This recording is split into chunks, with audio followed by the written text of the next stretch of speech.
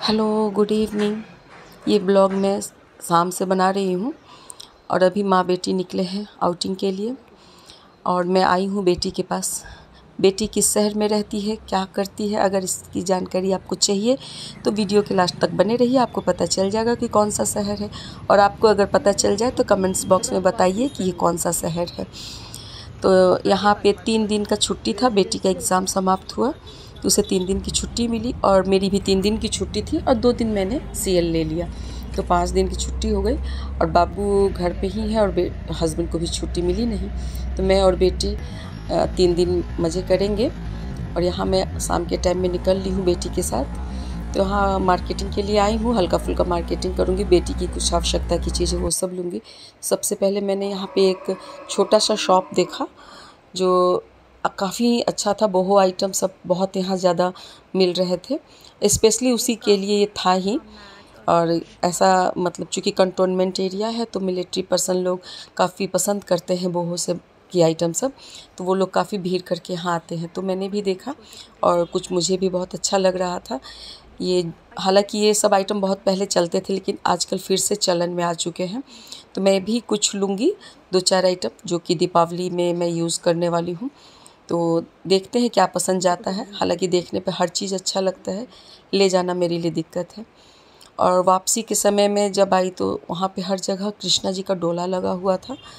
हालाँकि मुझे ये नहीं पता चला कि जन्माष्टमी है अभी लगभग एक दो हफ़्ता बाद, लेकिन अभी से ही यहाँ क्यों सज गया। यहाँ एक गोपाल मंदिर है।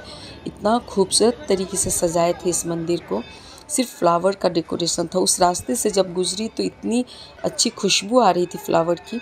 और आप देख सकते हैं, पूरी की पूरी मंदिर को नेचुरल फ्लावर से सजा रखा है, पूरा दम बिल्कुल राजशाही लग रहा था देखने से।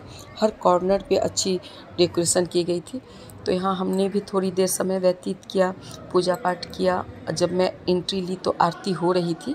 तो आरती के बाद सब लोग पूजा किए, दर्शन किए, मैंने भी किया। और बाहर साइड में रोड पे ही श्री कृष्णा भगवान का डोला लगा हुआ था। तो मैं भी गई।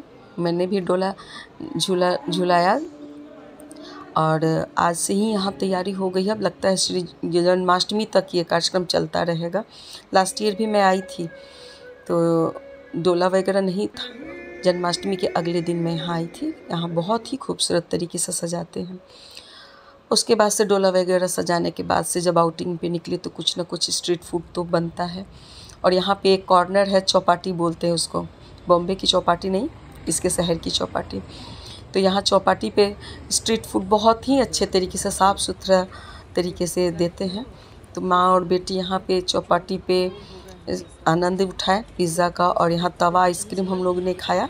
पाइन फ्लेवर का बहुत ही स्वादिष्ट बनाया था और देखा जाए तो बहुत ही कम दाम में भी दे रहे थे, ज़्यादा कॉस्टली भी नहीं था, चूँकि स्ट्रीट पे था तो थोड़ा सस्ता भी था, लेकिन बहुत ही अच्छे तरीके से बनाया था, बहुत ही स्वादिष्ट बनाया। और यहाँ हम लोगों ने हल्का फुल्का खाया और मैं कहीं जाती हूँ तो मुझे तो फुल्की चाहिए होता है तो मैंने फुल्की का भी लुफ्त उठाया और घर के लिए हम लोगों ने खाना रास्ते में ही वहीं पे डोसा और इडली पैक करा लिया और उसके बाद से हम लोग वहाँ से निकल लिए।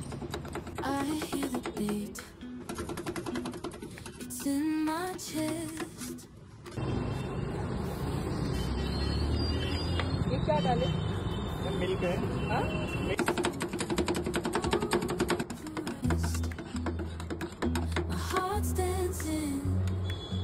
It's a love conquest. Oh, the melody.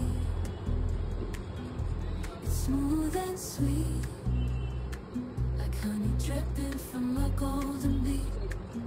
It's the soundtrack to my soul's heat, making me move from my head to my feet.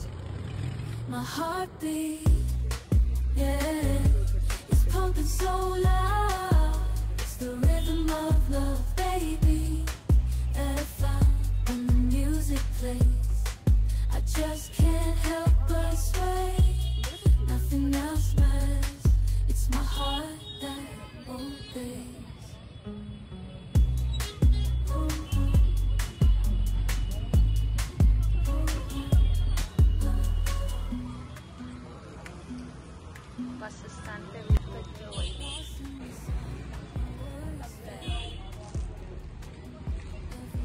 वापस आ चुकी हूँ। घर के पास ही बेटी के नन्हे मुन्हे दोस्त लोग मिल गए तो उन्हें थोड़ा बिस्किट वगैरह खिलाया। और अब मैं अपना करती हूँ ब्लॉग यहीं पे समाप्त। मिलते हैं अगले ब्लॉग में, तब तक के लिए बाय गुड नाइट